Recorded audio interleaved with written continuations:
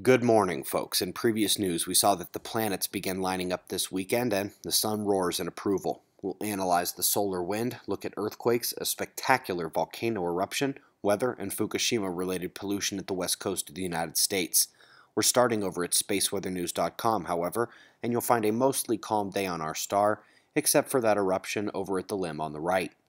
As the southern sunspot group turned out of view and the Earth facing quiet effect loosened its hold, a C class solar flare was detected, meaning that if this was facing Earth, probably would have been M class at least. The eruption will miss Earth by 90 degrees trajectory. Solar wind has plateaued and perhaps even begun to come back down a bit in intensity. We saw the peak of disruption yesterday and are reverberating now.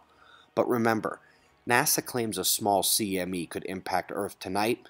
NOAA still isn't tracking it, and I'm still not concerned, but this is worth noting. Main body of the coronal hole is departing while the small equatorial opening behind it crosses center disk tonight and into tomorrow. Top quake of the last day was a 6.1, part of the aftershock swarm of the Solomon Islands quake a few days ago. Same fault line, just skipped right across the country line. But the bigger news from beneath our feet was a volcano eruption in Mexico. Nevado de Colima uh, erupted multiple times in the last two days, and truly may be related to the California quake on the 8th as well.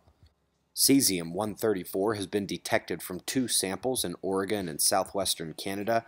There's no more iodine from the Fukushima event, so the primary Fukushima signature is now cesium 134, given that 137 sources are abundant naturally. Lastly, folks, this is the result of terrible flooding in Bolivia to start this month. Video finally coming in as the Great Mayu River overflowed its banks.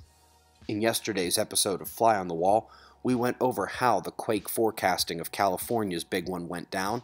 We discussed GMOs, climate, and David from Adapt 2030 even joined us for that part of the discussion. Right now, we've got your pressure and radar forecast followed by shots of our star to close.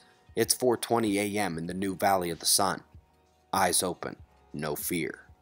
Be safe, everyone.